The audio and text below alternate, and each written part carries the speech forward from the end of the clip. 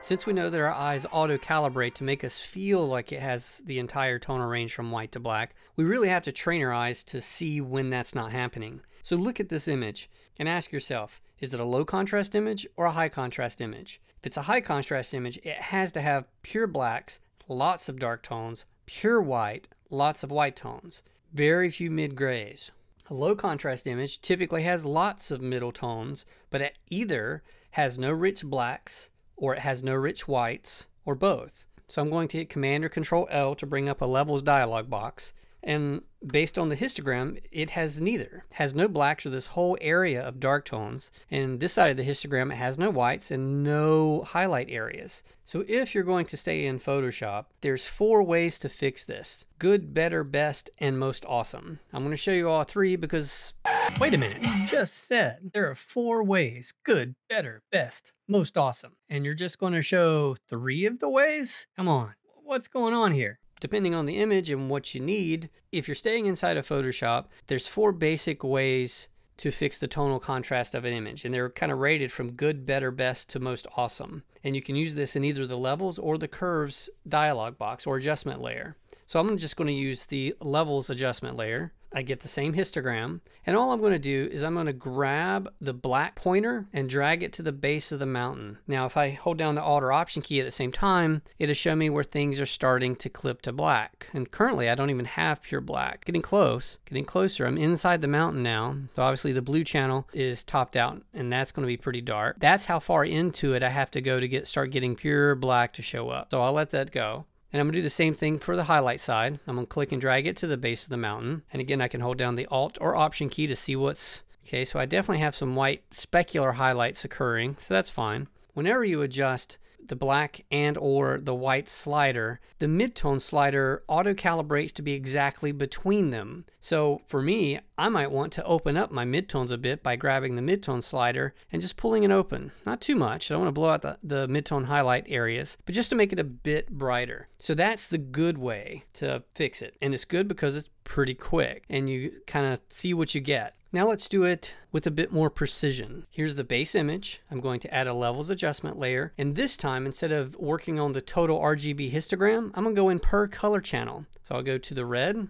and I'll do the same thing. I'll drag it into the base of the mountain, go to the green, drag that color channel to the base of the mountain and go to the blue and drag that to the base of the mountain for both the shadow and highlight sliders. And then I'll go back to RGB to see if I want to brighten up just those midtones a touch. So this is a really nice tonal adjustment, giving us the full tonal range from rich blacks to rich whites with a full range of tones in between, making it a more interesting image. This is before, and this is with the appropriate contrast. So some images benefit from this individual, very precise way to adjust each individual color channel because there are some images where the individual color channels histograms are actually quite different. Here they were fairly similar. They were still different, but, but they were similar. But some of them are so skewed one way or the other, this is really helpful if you encounter that situation. So this is the better way to nice. do it for more accurate results if production and speed are not an issue. So here's the original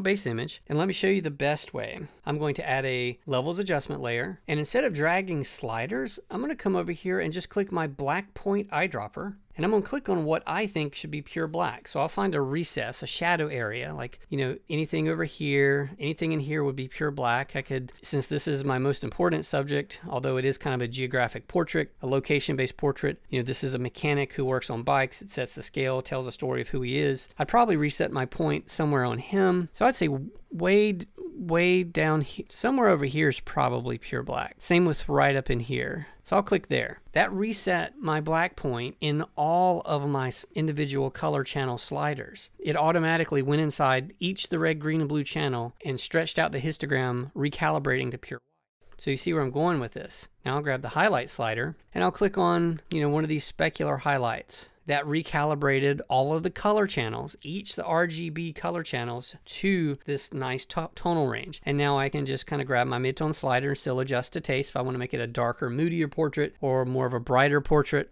I can control that directly with my midtone or my gamma slider. This is the best way. Nice. So go back to the original file, and now we can see that it's pretty flat right off the bat. Now let me show you the, the most awesome way to do this, where it gives you precision and speed. Essentially, you're just going to add a levels adjustment layer, and a lot of people shy away from the auto calibration. But remember, there are like a thousand scientists and mathematicians writing the algorithms for Photoshop that have been pretty carefully created and conceived. So auto, unlike the old days, auto tends to do a pretty good job. So I'm just going to click auto, see what it does. It does a pretty decent job. Notice it doesn't pull it all the way to the base of the mountain. It didn't give me that really rich black and that really rich white, but it did what it thought it could do. So I'm going to undo that by just deleting the layer. I'll add the adjustment layer again. Now watch this. If I click on these lines, these little dialog lines here, it opens up a box just outside of the viewing area. That's so important. I'm gonna have to I'm gonna have to make my Photoshop smaller so that you can see it. So I'll click on these dialog lines, which means there's some hidden features. And I'll go down to Auto Options. And under Auto Options, this is the default, enhance brightness and contrast. But what I want to do is I want to enhance the per channel contrast, which is the same thing we did when we poked into each individual color channel, adjusting both the shadow and the highlight sliders. It sets a clipping point, making sure that you have exactly pure black, exactly pure white. And if I click save as defaults, this will automatically happen. That really intensive RGB shadow and highlight slider adjustment for each color channel auto happens just by clicking auto from now on. So I'll delete this. I'll add a levels adjustment layer. And we saw what happened before. It didn't quite give it as rich of a look. Watch this. Auto. Boom. Holy Batman. That is most awesome. All the work is done. The heavy lifting is done. I can quickly just open up my midtones because I like it to be a bit more bright. And that is by far the most awesome way if accuracy and speed are your main goals, which in Photoshop, why would you not want to do things more efficiently and quicker so you can spend more time in Photoshop having fun? Or if you're a working professional, you can get your work out quicker. So let's do the same thing with this image. So if I hit Command or Control L, what we thought initially, just by looking at it, obviously there's some clipped highlights because the histogram is running up the right wall. I'll hold down the Alt or Option key and, and probably it's going to be those, yeah, just the background where the sun is coming through the trees. But notice all of these dark tones, everything from black all the way to this level of dark gray is missing from this image. Now, sometimes a high key image is cheated by making it kind of a, a lower contrast shot by getting rid of the blacks, essentially by overexposing. We know we can add a levels adjustment layer, pull this black point slider over to get pure black, slide my midtones open to still have it that brighter fill, and I'm good to go right? But instead, I'll start again with the base layer, click the levels adjustment layer, and then I'll click auto because I've already set this to auto set the black and white points per red, green, and blue channel, giving me a very accurate and quick adjustment. And then I just need to open up my midtones a touch, maybe pull down my highlights just a touch so they're not glaring. And I've already fixed this image really quickly. Hey, what are you still doing here? It's over.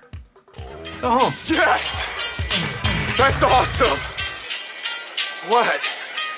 You just took one in the jugular, man. Whoa. Yes! oh my god. Oh my god, I did. Is this bad? Is this bad? You should pull that out. That shit is not cool. Pull.